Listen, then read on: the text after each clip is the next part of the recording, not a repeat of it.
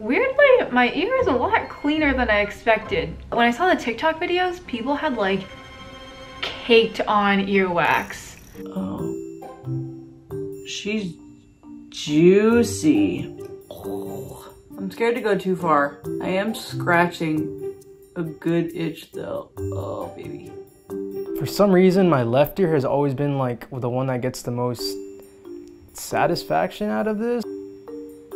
There you go. You can see like a chunky, a chunky boy right there.